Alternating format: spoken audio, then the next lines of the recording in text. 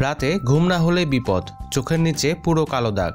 অনেকের আবার ঘুম হলেও এই কালো দাগ দূর হয় না চোখ থেকে। পরিপাটি সাজের বারোটা বাজিয়ে দেয় এই চোখের কালো দাগ। সবাই জিজ্ঞাসা করে সারা রাত ঘুম হয়নি? লজ্জায় পড়েন আপনিও। তবে এই লজ্জার দিন শেষ।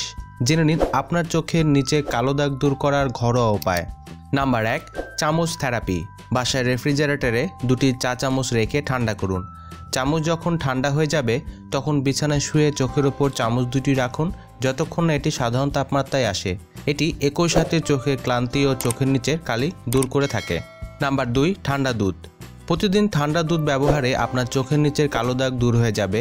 তুলার বল ঠান্ডা দুধে ভিজিয়ে নিন, ভেজা তুলার বল আপনার চোখের ওপর রাখুন। দশ পনেরো মিনিট পর তুলা সরিয়ে নিন, এরপর পানি দিয়ে ধুয়ে ফেলুন। এটি প্রতিদিন করাতে আপনার চোখের নিচের কালির দাগ দূর করবে। নাম্বার তিন টমেটো। টমেটো চোখের নিচের কালো দাগ দূর করতে অনেক কার্যকরী ভূমিকা পালন করে। এর সাথে সাথে আপনার ত্বককে করবে কোমল লাবণ্যময়। এক চা চামচ টমেটোর রস, এক চা চামচ লেবুর রস মিশিয়ে নিন। এটি চোখের নিচে লাগান। দশ মিনিট পর ধুয়ে ফেলুন। এটি দিনে দুইবার করার চেষ্টা করুন। টমেটোর রস, লেবুর রস আর সাথে পুদিনা পাতা যোগ করে তৈরি করে নিতে পারেন দারুণ একটি হেলথ ড্রিঙ্ক। এটি আপনার চোখের নিচের কালি ভিতর থেকে দূর করতে সাহায্য করবে। নাম্বার চার, শশা। সতেজ শশা স্লাইস করে কেটে আধ ঘণ্টা ফ্রিজে রেখে ঠান্ডা করুন। দশ মিনিট চোখের ওপর রেখে জল দিয়ে ধুয়ে ফেলুন। দিনে অন্তত দুবার একটানা সাত দিন। আবার শশা আর লেবুর রস সমান পরিমাণ মিশিয়ে মাখতে পারেন ত্বকে। দিনে একবার করে সাত দিন মাখুন স্বাভাবিক রং ফিরে আসবে। নাম্বার পাঁচ, কাঁচা আলু।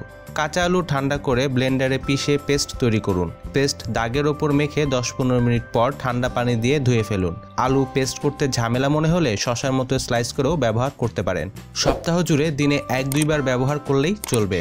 নাম্বার ছয়, ঠান্ডা চায়ের ব্যাগ। চায়ের ব্যাগ দিয়েও চোখের নিচে কালি দূর করা সম্ভব। সবুজ বা কালো চায়ের ব্যাগ ঠান্ডা করে নিন। আপনার চোখের ওপর ঠান্ডা চায়ের ব্যাগটি রাখুন।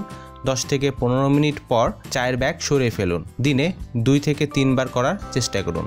আজকের মতো এ পর্যন্তই। ভিডিওটি ভালো লাগলে অবশ্যই লাইক দিবেন, শেয়ার করবেন আর কমেন্টে জানাবেন আপনার প্রশ্ন।